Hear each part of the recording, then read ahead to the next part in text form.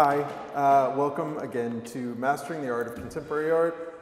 Um, this is an ongoing program where we are talking to artists here in Denmark um, about their artistic process and breaking one piece of artwork down as a recipe for then you to be able to go home and make and come back and display here.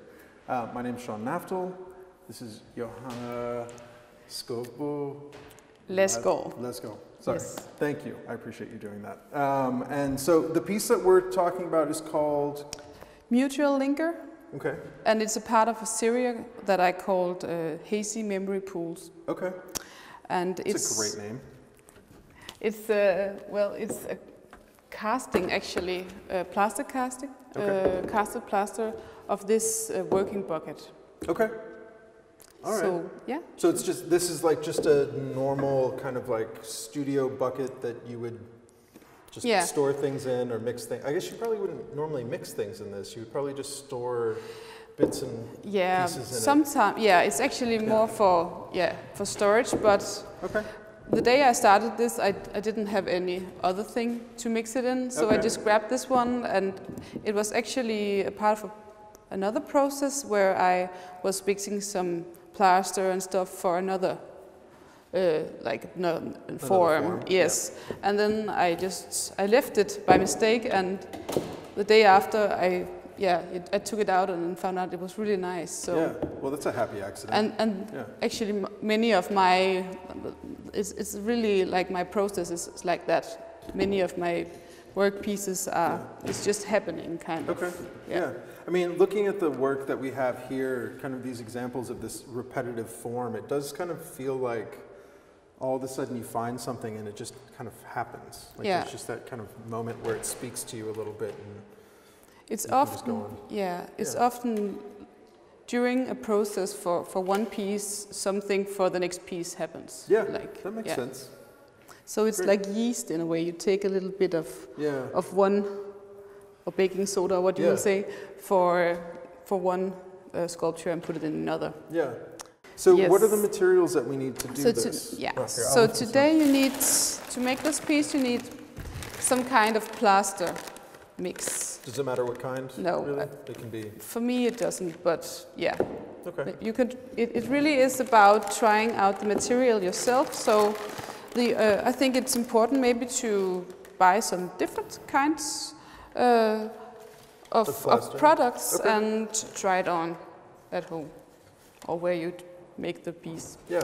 Uh, but it, I think the direction is on the actually on the, On the, the back, but but it's about uh, two pieces, like two two parts of plaster, one parts of water. Okay. I do it sometimes a little bit more sloppy because yeah, it's like baking bread. You know, you have that feeling and yeah. Once it's right, it's Yeah. you know it's it's the right way. Okay. yeah. So that's how I work. I don't use recipes that much. So Okay. yeah, Well, that's perfect because I think that's Yeah. part of this thing is that we're really kind of understanding that like these pieces can kind of you were giving a recipe, but that doesn't mean that you can't alter that recipe in some sort of way to kind of make it your own. So Yeah, yeah, It's the exactly. same thing. So you can say the recipe is really the experiment in Yeah, a way. Yeah. Exactly. Yeah. Okay, so before we, we mix the plaster with water because it's, it takes about 20 minutes to dry and then you can't work with it anymore. Okay. I, before that, I uh, normally pre- I prepare the paints because I would like to add some color into it because I also, I'm also very interested in actually painting Okay. and in a way make it sculpture and painting. Yeah. Yeah. Yeah. yeah. So I take, it's very important that it's acrylic paint because oil paint won't, it will kind of destroy the, the mixture. It won't dry. So acrylic paint and I actually, I buy some of the cheap ones because it have, uh, it has uh, a lot of binder in it and Yeah. it's, it just works very And it's really it. thin. Yeah. Way. So, yeah, so I just mix it with water Uh huh. And I use a lot actually of, of paint, but it, it should be a little bit thinner than you, the one you buy because it should work better. It works better with the plaster if it's quite thin as like juice or ketchup or something like that. okay. So just a little bit in it. something like.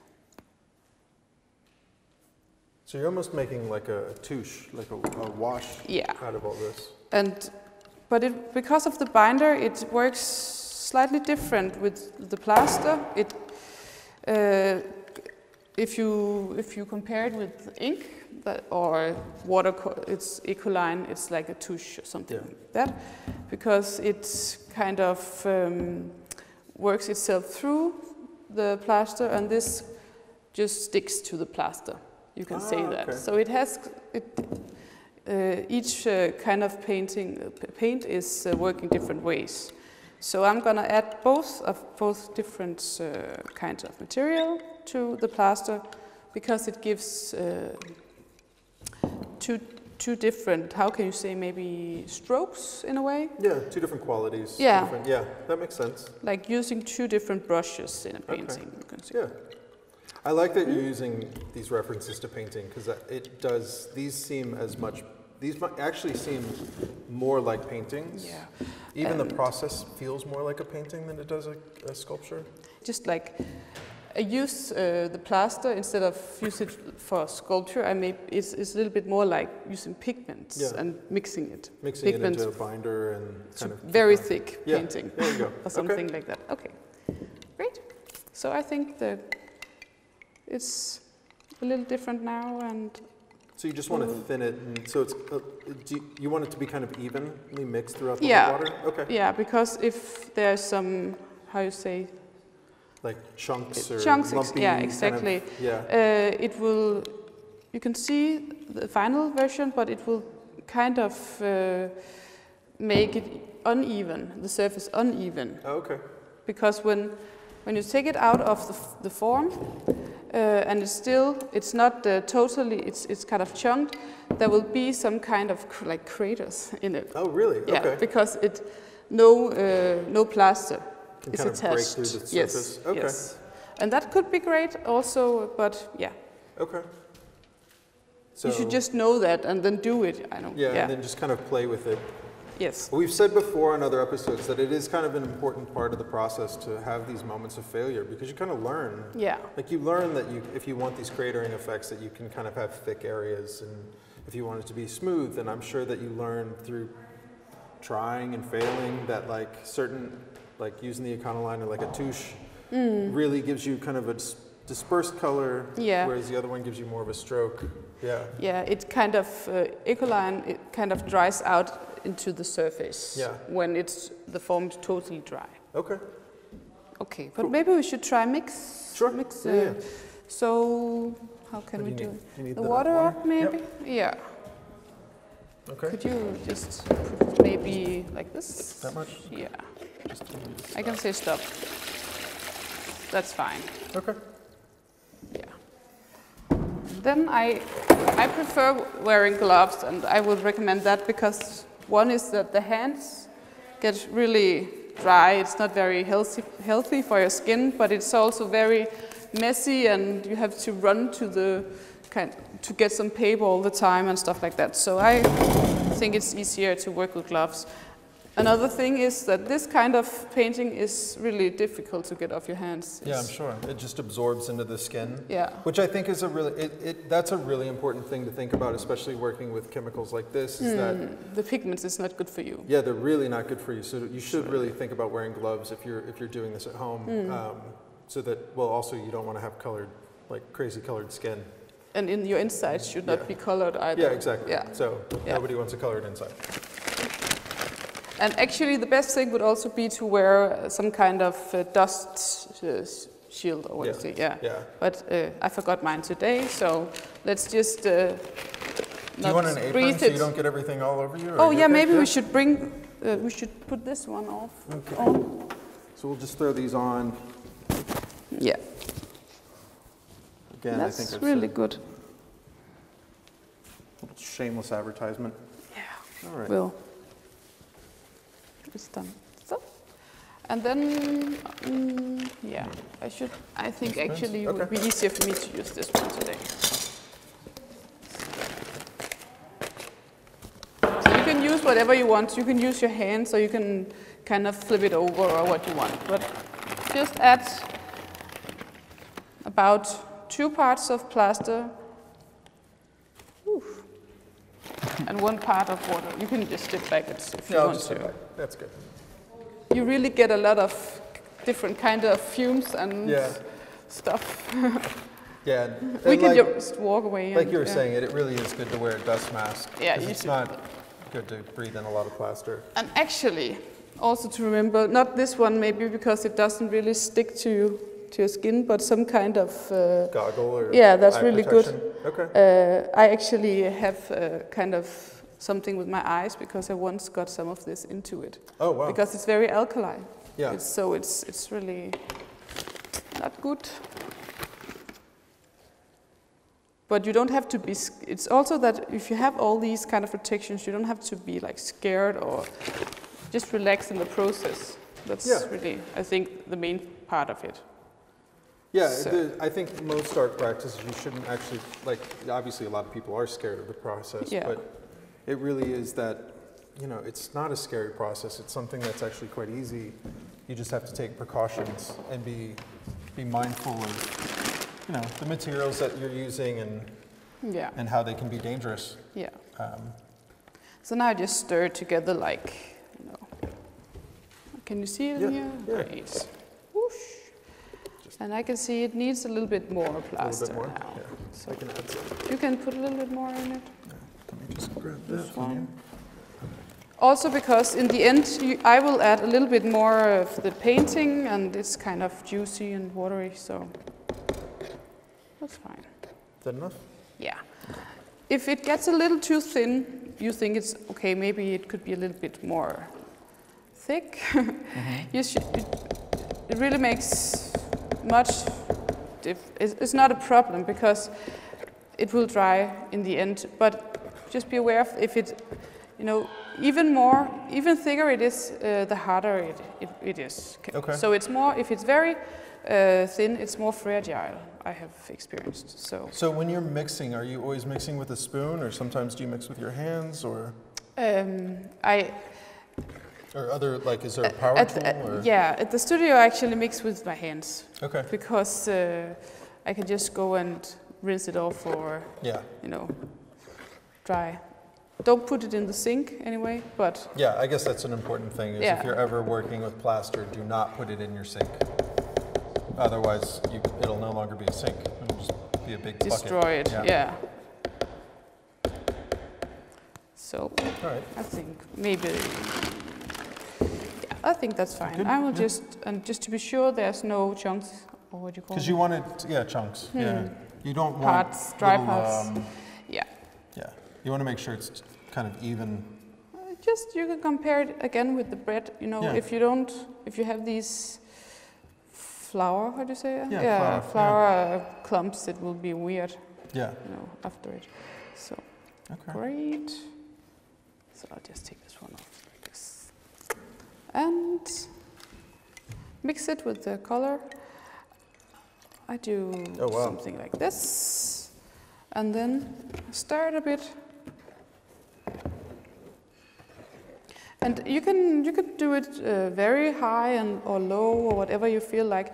Yeah. It is interesting because you know because you're casting and you're casting in all these really Random. Really com- yeah, but they're also common. Like Yeah. very much like something that you can find at a shop, or there's Yeah. something that's super. It's very accessible. Like it's a very kind of Yeah.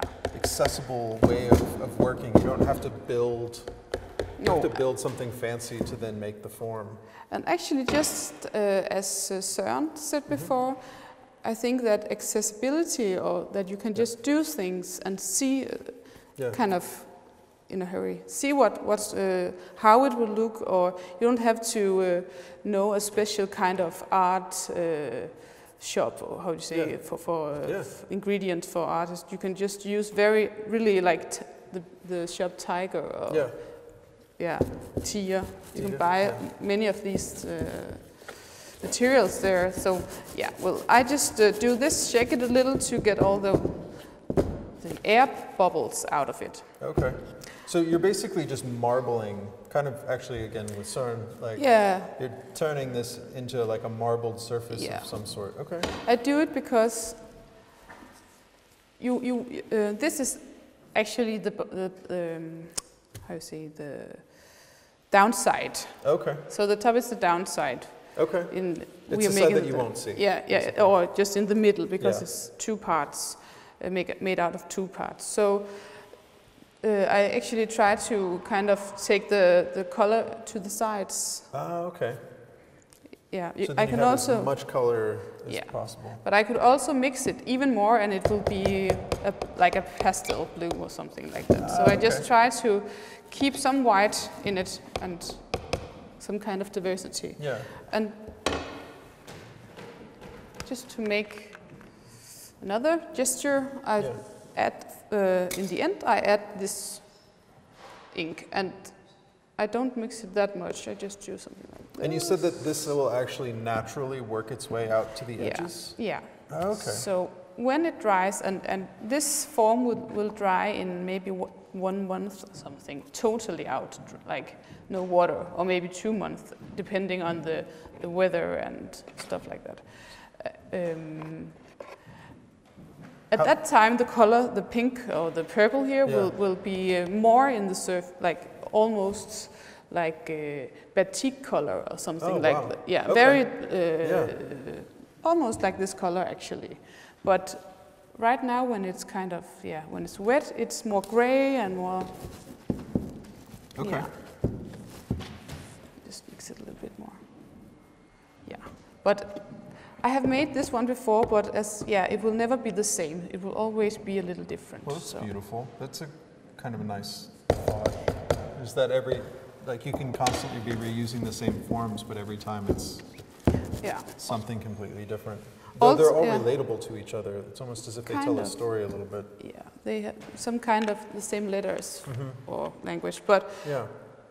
even the, also the detail, like for every time I use this bucket, there will be some kind of scratches, and Ah, okay. it will kind of break, yeah, break down or like it, Yeah. de- it destroyed itself Yeah. in, in a way. So everyone really does have a completely different surface. Yes. Okay. it has. I guess that is the advantage of also working in like a plastic material because as Mhm. you're moving the material around and trying to break it out, and I noticed that you don't use anything. Um, we, we, I mean, it's a release. You don't use any sort of wax or you don't use any sort of oil or anything. Mm-mm. So once this, this actually dries, you yeah. can just kind of pop it out and almost like a jelly mold. Yeah, I can show. I, normally it, it sticks. I have another one. It sticks to the the form, and then I can, if I don't fill it totally up, I only have like Yeah. in this. I can. It's it's kind of made for just like a baking form, like this one. Oh, or- okay. yeah, Yeah, yeah. but because it's a little bit more flexible material, Ah, okay. I can have it out and. And it just pops right out. Yeah. Okay. Fantastic. Mm. Um, So Great, that's fantastic. So how long will this, how long will this stay in the mold? Do you keep it in the mold for two months? no, it will harden in 20 minutes. Okay. So you can't work with it anymore. Okay, And then after a day, I will take it out Okay. and dry, because it's, you know, if, if the surface is cover, covered, Mhm. it, it will take even more time to dry. So just get it out up on something okay. like, in- Hopefully in the sun, maybe. yeah, in your, I have in my, um, in my window, you know, Yeah. area there. Yeah, Okay, I can have it. Or yeah, yeah. Well, great. So uh, I guess we'll let this sit for a day and pop it out and see how it looks. And then uh, let's, can we show the? Let's turn the clock, and Yeah, now it's turn tomorrow. the clock, exactly. So then tomorrow, if we had made, Something like this. Maybe Yeah. if I have made two of them. yeah, because actually this one is only there's only the one side. this one. Okay. So you can see it like this, Ah, yeah. maybe like this. And so these areas are That's the- the it's really failures. thick. Yeah. that's which- where where you don't uh, have mixed. That is acrylic paint. Okay, that's Yeah. just pure acrylic paint. Yeah. And it is amazing because if you look at the surface, there really isn't, there's like little to no purple. It. Yeah. really does, it, it, it's interesting that it draws all the way out to the sides. Yeah. So, So I probably this one will be even more pink in a way. I think because. like this one. Yeah. Yeah. Yeah, that's right. you can't. This one is especially very green, blue, And that's just from mixing, yeah. mixing it in more. And maybe I have. I think I have just kind of tried to make it more flat. Oh, okay. Oh, Yeah. so, okay, that makes sense. But this is not. It's not ready for that yet. Yeah. Mm. Okay, well, fantastic. And then to say that I kind of work in series, so this is just a little part of A larger probably series. installations and Okay. so, yeah, this one is another kind of, but very often I use them. I combine the the, the material and, Yeah. and also the the small sculptures. So for me, I think it's really interesting with that room in there. Yeah, That's really how I would like to, you know, Start normally kind of- install that yeah. many items together and So they all work both individually as pieces, Yeah. and then they can be put together to create other pieces. yeah. So And yeah, they every time they change. Exactly, and it's Okay. kind of a potential, isolated potential that you can work with in, and combine with uh, different kind of rooms and different kind of also uh, artists that is like other works of artists. Yeah. Oh, that's really interesting. Well, it's interesting to think that the parts of a whole are just as important as the whole. Like they can all exist on their own, but they only become more interesting and more powerful as they kind of multiply. Hmm. Um, It's a little bit like music or letters, and you know that a bass could be very interesting, but it's the like the, the symphony or what you call it Yeah. that makes it. Makes it even more dynamic. Yeah, Okay. yeah, yeah. Yeah, I guess I guess these round pieces that are on the screen would be the same way. Like Yeah. individually, they're quite interesting, but together they start to have a there's a dialogue between them. Yeah. So, which will be amazing if we can get everybody to then Yes. make their own versions, and we can start kind of putting them all together and seeing how they can all talk to each other, and then also talk with the other works within the exhibition. So, Exactly. Well, So yeah. Johanne, thank you so much for this. It was really great. Um, I love the process. They're really quite beautiful. Um, and the serendipity, like this kind of like accidental magic of these areas is really amazing. Um, and I look forward to seeing kind of what happens as the exhibition grows over Mm. time. So thanks so much. Thank you so it. much.